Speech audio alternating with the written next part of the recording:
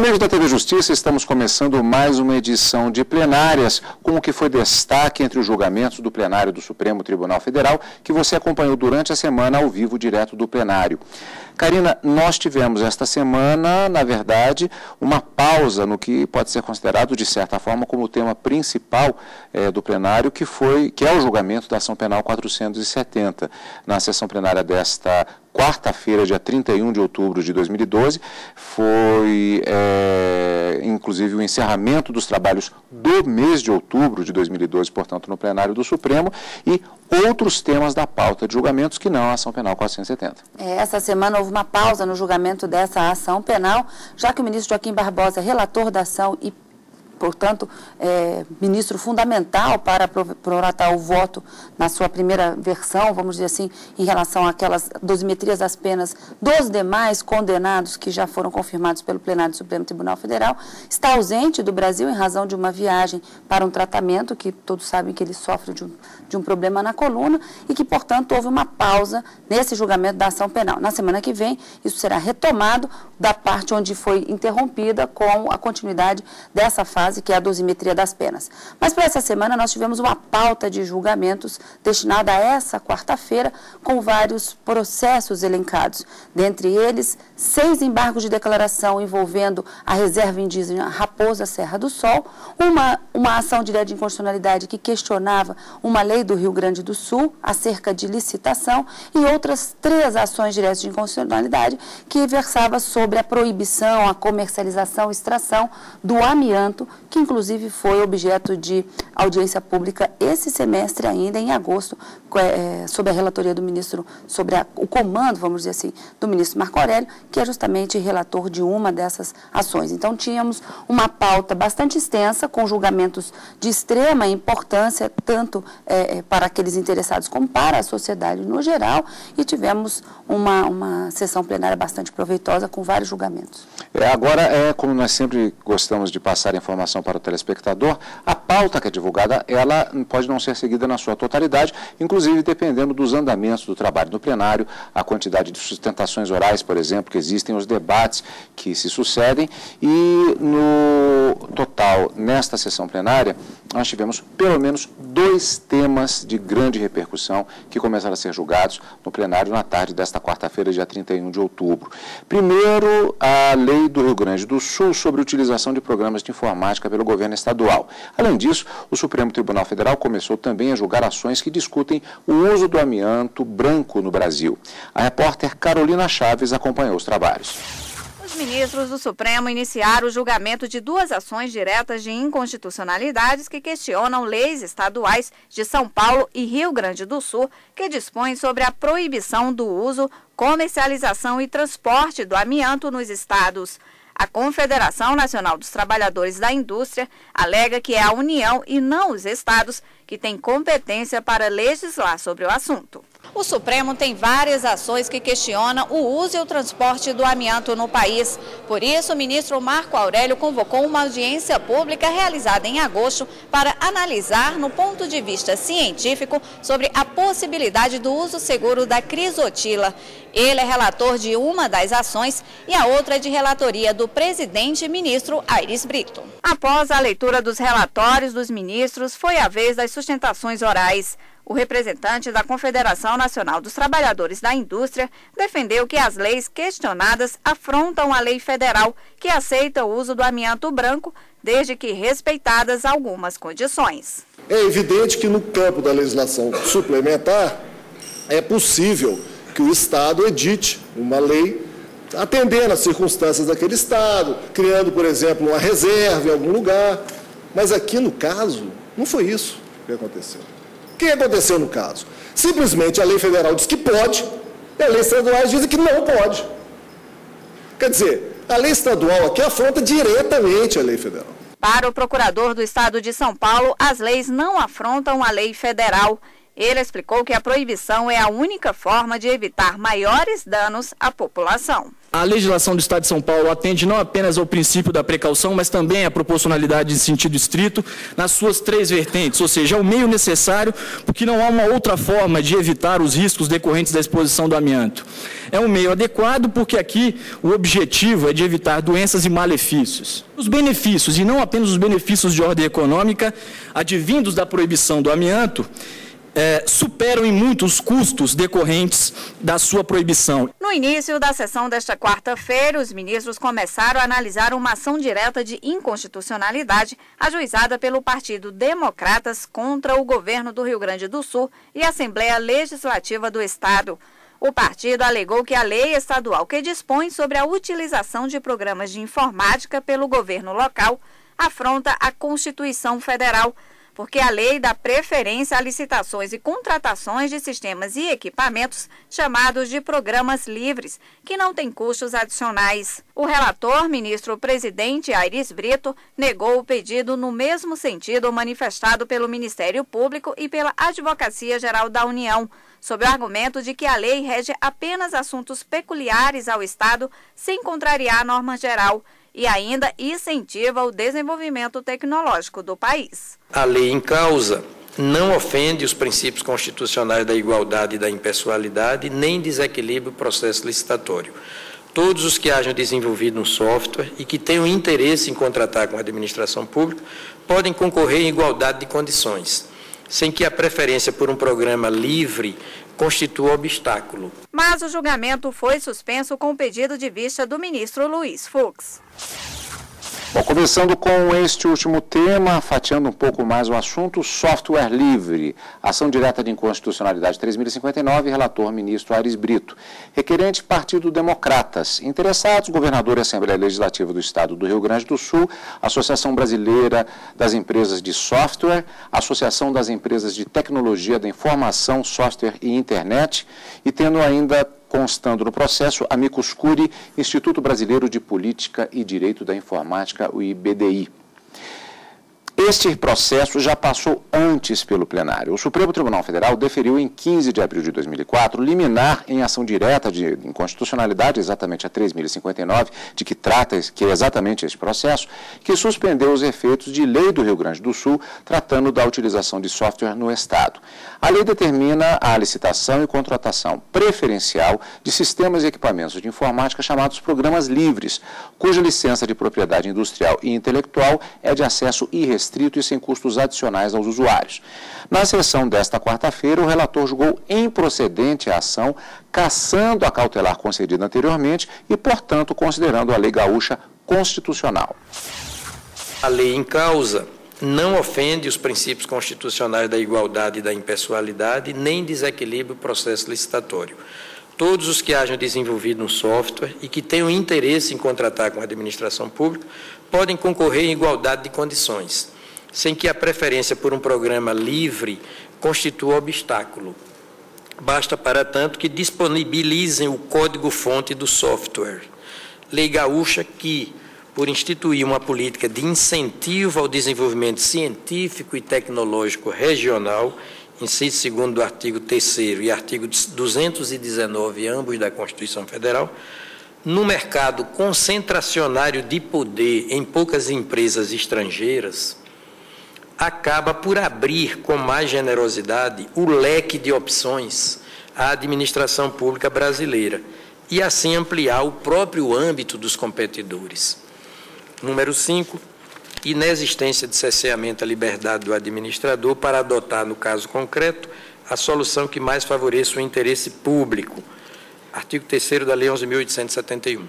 A preferência legal pelo software livre apenas exige da administração pública um reforço de motivação para a escolha contrária, qual seja a opção por um software do tipo proprietário. Isto em reverência a um interesse maior, aferível abstratamente. Que interesse? O de, do desenvolvimento tecnológico nacional, com reflexos, reflexo na preservação de dados, que não raro, dados que consultam a própria segurança do país. Número 6, já estou terminando. a lei em causa não desrespeita os princípios constitucionais da economicidade e da eficiência. Estas são aferidas à economicidade e eficiência não somente pelo custo do produto ou serviço, como também pela segurança dos dados públicos inseridos nos sistemas informatizados e pela aquisição imaterial do conhecimento tecnológico. Lei estadual que, embora estabeleça preferência por softwares livres, livres, não fecha totalmente as portas da administração para a contratação de programas de computador com restrições proprietárias. Artigo 3 da lei. Finalmente, respeito ao direito fundamental de que trata o artigo 27 do artigo 5 da Constituição Federal. Os criadores de programas informáticos, softwares, não têm nenhuma obrigação em compartilhar o uso dos seus inventos ou criação. Por outro lado, a administração pública dispõe do poder de ditar as características do produto ou do serviço de que necessita, não estando compelida a aceitar qualquer condição unilateralmente imposta pelos detentores de direitos autorais na matéria. Eu estou julgando improcedente a ação direta na linha do Ministério Público, na linha da advocacia da União e caçando a medida cautelar. Pediu vista do processo o ministro Luiz Fux. Como vimos na reportagem de Carolina Chaves agora há pouco, na sessão desta quarta começou também o julgamento de ações diretas de inconstitucionalidade que questionam a extração, industrialização, utilização e comercialização do amianto da variedade crisotila. O assunto foi tema de uma audiência pública. Inicialmente, três julgamentos sobre o tema foram incluídos na pauta. Duas delas foram apresentadas pela Confederação Nacional dos Trabalhadores da Indústria e questionam leis dos estados de São Paulo e do Rio Grande do Sul que proíbem a exploração, produção e comercialização do amianto. A terceira foi proposta pela Associação Nacional dos Magistrados da Justiça do Trabalho e pela Associação Nacional dos Procuradores do Trabalho contra uma lei federal que permite o uso do produto. Em agosto, durante dois dias, o Supremo realizou uma audiência pública sobre o tema, a pedido do relator de uma das ações, ministro Marco Aurélio. 35 especialistas foram ouvidos, entre cientistas, representantes da indústria, do governo e de entidades ligadas aos trabalhadores expostos ao amianto. Foram discutidas questões como o uso seguro do produto, os riscos para a saúde pública, alternativas ao amianto e os impactos econômicos das ações. O debate serviu para auxiliar os ministros na elaboração dos votos. Das três ações que estavam em perspectiva de julgamento, duas tiveram já exatamente o julgamento conjunto iniciado na sessão desta quarta-feira. É o que nós vamos ver logo depois do intervalo aqui em plenárias.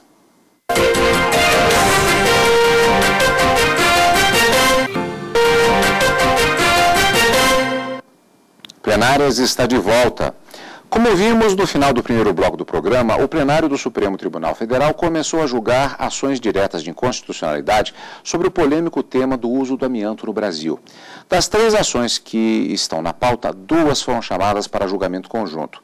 As ações diretas de inconstitucionalidade 3357 e 3397, de relatoria, respectivamente, dos ministros Aires Brito e Marco Aurélio. Na primeira parte da sessão da quarta-feira, dia 31 de outubro, os ministros Aires Brito e Marco Aurélio leram os respectivos relatórios e em seguida foi a vez da apresentação das sustentações orais da tribuna do plenário.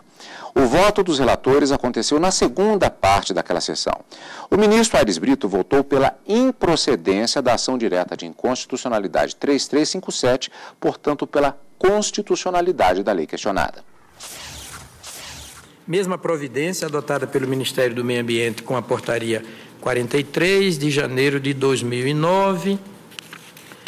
É, e para concluir, eu digo que a lei estadual, aqui impugnada, ao proibir a comercialização de produtos à base de amianto, em verdade, cumpre muito mais a Constituição da República, mas é muito mais, no plano da proteção da saúde, inclusive evitar riscos à saúde da população em geral, dos trabalhadores em particular, do meio ambiente, do que a lei federal. Quero dizer, a legislação estadual é que está muito mais próxima do sumo princípio da eficacidade máxima da Constituição em tema de direitos fundamentais. Eu já expliquei que as normas gerais são menos do que plenas. Então, elas são completadas, reforçadas na sua vertente protetiva por normas suplementares dos estados. Aí sim, a suplementariedade estatal, junto com a normatividade geral da União, as duas modalidades, os dois espécimes legislativos, compõem um bloco íntegro de proteção a meio ambiente, a consumidor, à saúde humana, aos trabalhadores. E é o que quer a Constituição, quando permitiu a edição das duas modalidades, normas gerais, normas suplementares. Mas não é só. No caso, a norma estadual ainda sintoniza com outra de índole constitucional, qual seja o inciso 12 do artigo 7 da Carta Magna, que diz o inciso 12 do artigo 7 da Constituição Federal. Diz que é direito dos trabalhadores, aspas, a redução dos riscos inerentes ao trabalho por meio de normas de saúde, higiene e segurança. Fecho aspas. Além do que, precedida de estudos e debates conclusivamente demonstradores da nocividade do ambiente em qualquer de suas variedades, como se vê das seguintes passagens da justificativa do projeto de lei estadual. Aí eu trago o, a motivação da lei estadual, a exposição de motivos. Tem muito importante. Tem uma parte que diz: conhecendo esses dados, a proibição do uso do amianto em novas construções é um dever do legislador, pois defende o direito à vida das pessoas que estariam a ele expostas. A lei nada mais fez do que concretizar o princípio econômico da função social da propriedade e da defesa do meio ambiente, cita os dispositivos constitucionais de parelha com a proteção do trabalhador, da saúde pública e da defesa dos direitos humanos, sendo induvidoso o dano que à saúde humana é causado por qualquer variedade de amianto, onde o próprio parágrafo único do artigo 2 da Lei 9.055 certificar a nocividade do ambiente crisotila, inclusive, logo e considerando que a legislação internacional, e ainda considerando que a legislação internacional impõe a substituição desse produto, não vejo como reconhecer a inconstitucionalidade que se faz objeto da presente ação. Também digo, agora é concluindo mesmo, que a lei estabeleceu prazos razoáveis, prazos elásticos de três e quatro anos, para que os estabelecimentos industriais e comerciais se adequassem ao novo esquadro jurídico positivo houve tempo suficiente para o sereno planejamento e execução das medidas que então se impunham. Ante o exposto, julgo improcedente o pedido contido na apresentação direta.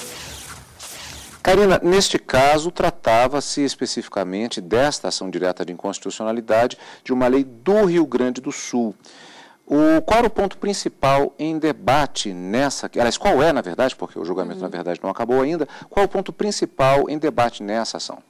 A, a, questão principal a ser resolvida era se o Estado poderia legislar sobre essa proibição do uso de amianto, já que nós temos no ordenamento jurídico uma lei federal possibilitando a utilização do amianto chamado amianto branco e não e essa lei federal ela proíbe a utilização do chamado amianto marrom e o azul, mas o branco ela permite e estabelece de que forma ele deve ser manuseado, produzido, é, é, industrializado, comercializado.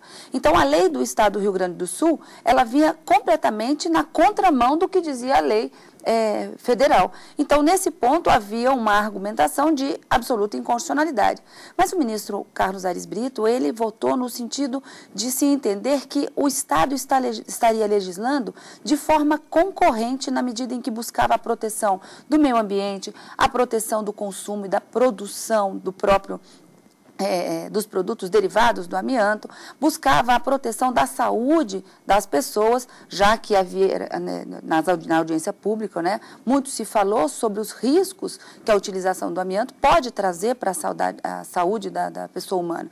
Então, o ministro entendeu, como a gente viu mesmo agora nessa, nessa última fala, em que ele diz assim que é a, a, o dever do legislador vem justamente para atender essas necessidades de proteger a saúde do cidadão brasileiro. E nesse sentido, havendo essa legislação concorrente, o que é que se deve entender de acordo com o artigo 24 da Constituição Federal? A, a, a União pode legislar, pode elaborar uma lei federal que trata de normas gerais, e ela o fez. E aos estados e ao Distrito Federal pode haver a, a, a possibilidade de suplementar o que essa lei federal, que contém normas gerais, não disse. Então, ela adiciona situações que o próprio Estado entende necessário para proteger aqueles bens jurídicos estabelecidos como direitos uh, de legislação concorrente. E, nesse sentido, o Estado o fez e o ministro entendeu que estava justamente atendendo aos princípios da própria Constituição. Assim, ele julgou improcedente a ação direta de inconstitucionalidade para dizer que a lei do Rio Grande do Sul, portanto, é constitucional e a proibição do uso do amianto não afronta a Constituição de forma alguma. Na sequência, votou o ministro Marco Aurélio, lembrando que trata-se de um julgamento conjunto, embora de dois relatores diferentes, mas tratando-se do mesmo tema. E desta vez o voto do ministro Marco Aurélio foi como relator na ação direta de inconstitucionalidade 3.397. Voto em sentido totalmente contrário ao apresentado pelo ministro relator da outra ação ou seja, o ministro Aires Brito. Para o ministro Marco Aurélio, a proibição do uso do amianto seria um passo demasiadamente largo. Não há indicações de que o amianto seja mais perigoso que outras substâncias igualmente conhecidas e ilícitas, como ressaltado pelo doutor Carlos Mário Veloso, né? Ah, filho né, da tribuna, né, ah, continuou que outras substâncias igualmente conhecidas ilícitas, como tabaco, o benzeno, o álcool, etc. Vale ressaltar que, se empregado na forma devida, o crisotila não traz qualquer risco ao usuário. Penso que, se proibido esse produto, a porta ficará aberta para proibir-se no Brasil N coisas. E talvez devamos aí retornar à época da caverna. Às vezes, o politicamente correto simplesmente não equivale ao juridicamente correto ou acertado. O caso envolvendo o amianto é um desses em que os contextos não se harmonizam inequivocamente, a substância possui enorme potencial cancerígeno que já provocou tragédia humanitária em diversos países. A despeito da cifra negra, creio que os fundamentos jurídicos, econômicos e científicos apresentados ao longo do voto não permitem chegar à conclusão de que a permissão contida na lei federal, aprovada, portanto, pelos nossos representantes, de uso e comércio balizados, controlados do amianto, seja material formalmente inconstitucional. Insisto, rever a proibição do amianto requer manifestação democrática que seja capaz, inclusive, de avaliar adequadamente a adoção do produto e dos possíveis substitutos.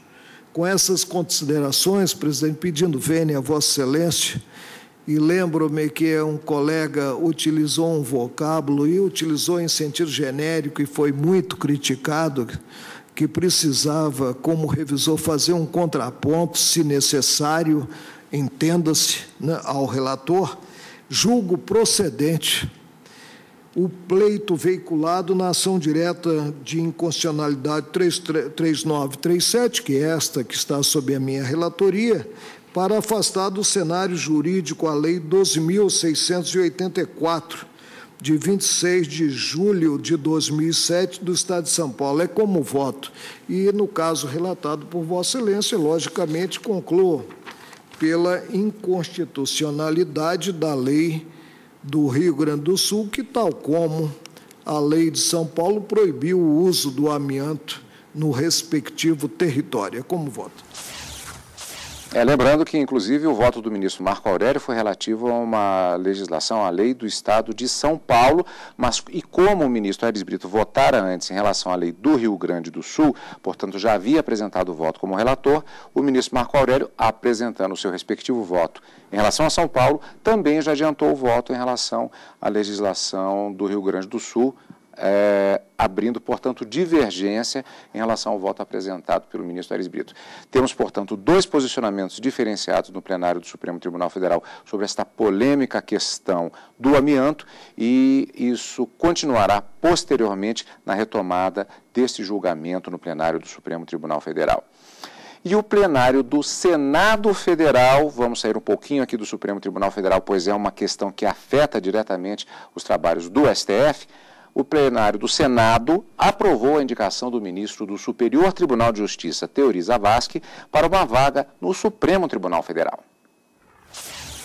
O ministro Teori Zavascki foi indicado pela presidenta Dilma Rousseff no início de setembro. No mesmo mês, começou a ser sabatinado pela Comissão de Constituição e Justiça do Senado Federal. A sessão foi suspensa e retomada no dia 17 de outubro. Na ocasião, Teori Zavascki respondeu às perguntas sobre diversos temas, entre eles direito adquirido, lavagem de dinheiro e evasão de divisas, direito para os mais necessitados e flexibilização do direito à propriedade privada em relação ao direito à moradia. Durante a sabatina, os senadores elogiaram o conhecimento jurídico do magistrado. Ele vai ocupar a vaga do ministro aposentado César Peluso, que deixou o Supremo no dia 31 de agosto, depois de completar 70 anos. Teori Zavascki é natural de Santa Catarina, bacharel em Ciências Jurídicas e Sociais pela Universidade Federal do Rio Grande do Sul. Pela mesma instituição, tornou-se mestre e doutor em Direito Processual Civil. Fez carreira na advocacia até chegar à magistratura. Em 1989, ingressou no Tribunal Regional Federal da Quarta Região, onde ficou até 2003, quando tomou posse no Superior Tribunal de Justiça. No STJ, integra a primeira turma, primeira sessão e a Corte Especial. Karina, a sessão plenária da próxima segunda-feira, ela foi, ela não, não vai acontecer, ela foi cancelada, mas nós teremos sessão na próxima quarta e quinta-feira. Isso, na próxima quarta e quinta-feira, com a expectativa da retomada do voto do ministro Joaquim Barbosa na ação penal 470. Encontro marcado, então, com o direto do plenário na próxima quarta e quinta e no plenário no final de semana. E é claro, obrigado novamente por estar conosco, como sempre, e continue aqui, na TV Justiça.